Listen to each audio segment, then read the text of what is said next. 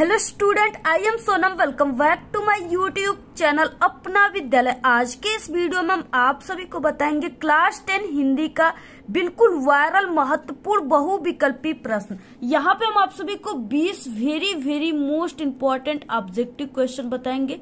जो कि आप सभी के 2024 बोर्ड एग्ज़ाम में 100 परसेंट गारंटी बिल्कुल पक्का आएगा, ठीक है? कंफर्म हो गया है बिल्कुल कि यही आप सभी के 2024 बोर्ड एग्ज़ाम में आएँगे।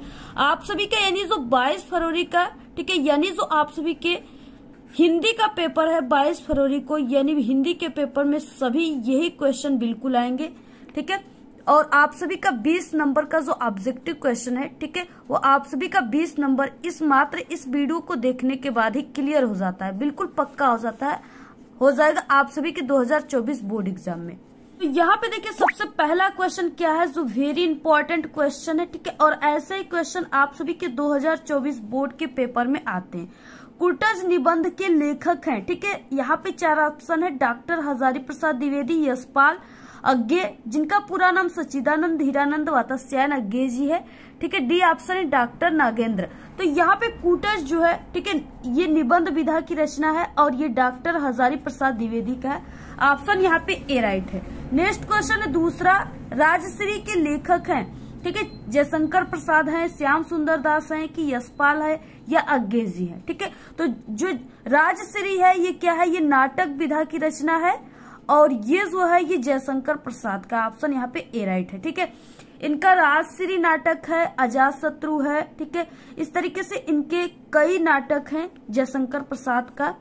स्कंद गुप्त चंद्रगुप्त, ठीक है? कई नाटक है, सभी को आप लोग ज़रूर तैयार कर लीजिएगा। जयशंकर प्रसाद का एक महाकाव्य है, ठीक है? काम यानी उसे भी आप लोग तैयार कर लीजिएगा। और भी इनके लहर, तितली, झरना, ठीक है? इरावती, अपूर, ये सब यानी कई इनके रचनाएँ आप लोग ज़रूर तैयार कर लीजिएगा। जयशंकर प्रसाद की सभी रचनाएँ आपके एग्ज़ाम में ज़रूर आती हैं, ठीक है? इसके बाद नेक्स्ट तीसरा सुल्ताना उपन्यास के रचयिता हैं, ठीक है? कौन है? किशोरी लाल गोस्वामी है या यशपाल है? राम कुमार वर्मा है या अज्ञे जी है, ठीक है? तो ये किशोरी लाल गोस्वामी ऑप्शन यहाँ पे फ़र्स्ट राइट है। इसके बाद देखिए नेक्स्ट है चौथा क्वेश्चन और ये जितने भी क्वेश्चन हम आपको बता रहे ये वेरी इंपॉर्टेंट है, ठीक है? क्योंकि जो आप सभी के हर साल जो हिंदी के बोर्ड के पेपर होते हैं ना, सभी सेट के बोर्ड के पेपर में से यहाँ पे हमने चुन चुन कर, ठीक है छाट छाट कर यहाँ पे लिख करके आप सभी को बता रहे हैं।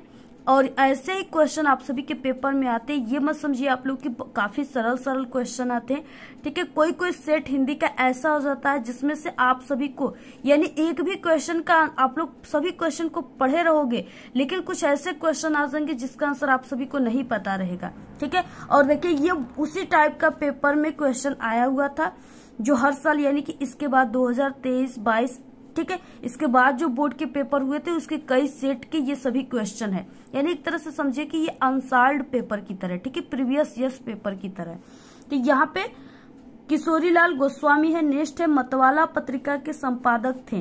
ठीक है? कौन था? निराला महादेवी वर्मा अज्ञे या जैनेन्द्र कुमार। देखिये यहाँ पे है निराला, ठीक है? जिनका पूरा नाम सूर्यकांत त्रिपाठी निराला है। इसके बाद नेक्स्ट है यहाँ पांचवा क्वेश्चन उपन्यास सम्राट माने जाते हैं। यानी उपन्यास के सम्राट कौन माना जाता है? पहला है प्रेमचंद, जिनका पूरा नाम मुंशी प्रेमचंद है, ठीक है? इसके बाद जयशंकर प्रसाद अज्ञे और श्याम सुंदर दास। तो यहाँ पे उपन्यास सम्राट जो है, ये प्रेमचंद्र को कहा जाता है, यानी मुंशी प्रेमचंद्र का, और इनका गोदान जो है, इनका प्रमुख उपन्यास है, ठीक है? इसके बाद नेक्स्ट है यहाँ पे छठवां क्वेश्चन प्रयोगवादी कवि है अज्ञे जी निराला बिहारी लाल या महादेवी वर्मा, ठीक है? यहाँ पे क्या पूछा है? प्रयोगवादी कवि। तो प्रयोगवादी कवि जो है, वो सचिदानंद हीरानंद वातास्यायन अज्ञे ऑप्शन यहाँ पे फ़र्स्ट राइट है। उसके बाद देखिए नेक्स्ट क्वेश्चन है सातवां, और ऐसे ही, ठीक है, बीस ऑब्जेक्टिव क्वेश्चन चालीस ऑब्जेक्टिव क्वेश्चन हमारे चैनल पे क्लास टेंथ के ऑल सब्जेक्ट का, ठीक है डेली आएँगे और आते भी हैं। तो आप लोग देखिए चैनल को सब्सक्राइब कर लीजिए, क्योंकि 20 ऑब्जेक्टिव क्वेश्चन आपके पेपर में जो आते हैं, ठीक है, वो बिल्कुल सरल नहीं रहते, बहुत ही कठिन होते हैं और बिल्कुल, ठीक है, कई सालों के पेपर से आते हैं और आप सभी के किताबों से आते हैं, ठीक है, जो कि हम आप सभी को जितने भी वायरल क्वेश्चन है जो हर साल आपके एग्ज़ाम में आते हैं, सभी को हम आपको 20 ऑब्जेक्टिव क्वेश्चन 40 ऑब्जेक्टिव क्वेश्चन की डेली वीडियो हमारे चैनल पे आ रही है। अगर आप लोग पूरी तैयारी कर लेते हो तो आप सभी की बीस ऑब्जेक्टिव क्वेश्चन में से क्लास टेंथ का ऐसा कोई सब्जेक्ट नहीं है ठीक है? जिसमें से आपके 20 ऑब्जेक्टिव क्वेश्चन में से आपका एक भी गलत हो पाएगा। सभी आपका सही हो जाएगा और आप लोग का हर एक सब्जेक्ट में 20 नंबर जो है ऑब्जेक्टिव का बिल्कुल पक्का हो गया। ठीक है? इसके बाद नेक्स्ट है, यहाँ पे देखिए, इति वित्यात्मकता किस युग की प्रधान प्रवृत्ति है? ठीक है?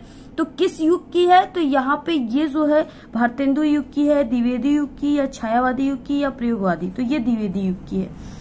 नेक्स्ट सूरदास के गुरु थे, ठीक है? कौन थे सूरदास के गुरु? नरहरिदास थे या विठल दास थे, रामानंद थे या बल्लभाचार था, थे, ठीक है? तो सूरदास के जो गुरु थे, वो बल्लभाचार थे ऑप्शन यहाँ पे डी राइट है।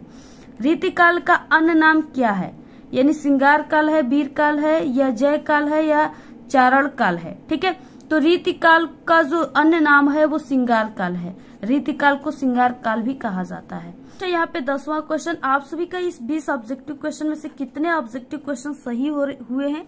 ठीक है, आप लोग ऑनेस्टी के साथ लास्ट में कमेंट करके ज़रूर बता दीजिएगा। ठीक है युग धारा के रचयिता है, नागार्जुन है, त्रिलोचन है, या नागेंद्र शर्मा है, ठीक है, या अज्ञे जी है। युग धारा यहाँ पे पूछ रखा है, ठीक है युग धारा के जो लेखक है, वो नागार्जुन है। ऑप्शन यहाँ पे फ़र्स्ट राइट है। नेक्स्ट क्वेश्चन देख लेते हैं। नेक्स्ट ग्यारह क्वेश्चन किसी भी विचित्र आकृति वेशभूषा अथवा चेष्टा को देखकर हृदय में उत्पन्न विनोद के भाव को कहा जाता है। ठीक है, क्या कहा जाता है? तो देखिए, अगर आप लोग विचित्र आकृति के, ठीक है, वेशभूषा देखते हो तो आप सभी को क्या आता है? हँसी आ जाती है कि ये किस तरह से विचित्र वेशभूषा है, बिल्कुल। आपको हँसी आ जाती है, ठीक है? मज़ा आ जाता है। तो उसमें क्या हो जाएगा? यानी जिसमें आप लोग मुस्कुरा उठते हो, ठीक है? तो ये हास्य रस हो जाएगा, ठीक है? ऑप्शन यहाँ पे बी राइट है। नेक्स्ट है बारह क्वेश्चन उपमा अलंकार का उदाहरण है। अब देखिए, सभी के एग्ज़ाम में, ठीक है, आप सभी को पता है कि क्लास टेंथ में जो रस छंद अलंकार पहले आते थे, जिसका परिभाषा उदाहरण लिखना था, अब उस, वो जो चीज़ें है, वो ऑब्जेक्टिव के रूप में कर दिया गया है, ठीक है। सबसे पहले आप सभी को जानना होगा कि ये जो उपमा अलंकार है, इसमें क्या होता है, ठीक है, इसका परिभाषा क्या होता है। तो जहाँ उपमेय में उपमान का तुलना, ठीक है, व्यक्त किया जाए, वहाँ पे उपमा अलंकार होता है, यानी इसमें तुलना व्यक्त किया जाता है, ठीक है? तो यहाँ पे इसमें कौन सा ऐसा उदाहरण जिसमें तुलना व्यक्त किया जा रहा है? भूतल तवा सा जल रहा है, ठीक है? तो यहाँ पे क्या है? यहाँ पे ये इसमें, इस उदाहरण में तुलना व्यक्त किया गया है तो यहाँ पे उपमा अलंकार हो गया। नेक्स्ट है यहाँ पे, सोठा के प्रथम चरण में कितनी मात्राएँ होती हैं? तो सोठा के प्रथम चरण में जो होती हैं, वो ग्यारह ग्यारह मात्राएँ होती है। कितनी कितनी ग्यारह ग्यारह ठीक है? ऑप्शन बी राइट है। नेक्स्ट है यहाँ पे निर्भिमान में प्रयुक्त उपसर्ग है। तो यहाँ पे देखिए, उपसर्ग का मतलब इस, ये जो शब्द है, इसके आगे लगने वाला वर्ड तो आगे इसके क्या लगा हुआ है? निर लगा हुआ है, ठीक है? तो यहाँ पे क्या हो जाएगा? उपसर्ग जो, उपसर्ग हो जाएगा यहाँ पे निर। बीस क्वेश्चन परिश्रमी एकता अपना काम समय से पूरा कर लेती है, ठीक है? रेखांकित पद का परिचय है।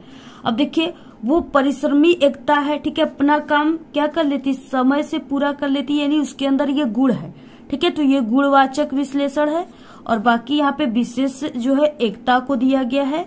और एकता जो है गर्ल्स है तो ये स्त्रीलिंग हो जाएगा और बहुवचन, ठीक है? ऑप्शन यहाँ पे डी राइट है। तो इस तरह से ये 20 ऑब्जेक्टिव क्वेश्चन है। आप लोग इसको तैयार कर लीजिएगा। वेरी इंपॉर्टेंट है। और ऐसे ही आप सभी के हिंदी के पेपर में ऑब्जेक्टिव क्वेश्चन आएगा। बिल्कुल ऐसा ही आएगा, ठीक है? आप लोग सभी को तैयार कर लीजिए। और इसी तरह डेली आप सभी को ऑब्जेक्टिव क्वेश्चन क्लास टेंथ के आल सब्जेक्ट के हमारे चैनल पे मिलते हैं। क्लास टेंथ के आल सब्जेक्ट की स्टडी हमारे चैनल पे कराई जाती है। आप सभी लोग तुरंत चैनल को सब्सक्राइब कर लीजिए और इस वीडियो को आप लोग अपने सभी दोस्तों में ज़रूर शेयर कीजिए। और अगर आप सभी को इसका पीडीएफ चाहिए तो हमारे टेलीग्राम चैनल को ज्वाइन कीजिए। उसका लिंक आपको इस वीडियो के डिस्क्रिप्शन में मिल जाएगा और अपनी अच्छी अच्छी प्यारी प्यारी कमेंट करना आप लोग बिल्कुल मत भूलिए। इस वीडियो में सिर्फ़ इतना ही। आपको ये वीडियो कैसा लगा? अगर वीडियो पसंद आए तो एक बड़ा सा लाइक कर दे। चैनल पर नए तो सब्सक्राइब करके बेलाइकन को ज़रूर प्रेस कर दे। Thanks all the very best bye bye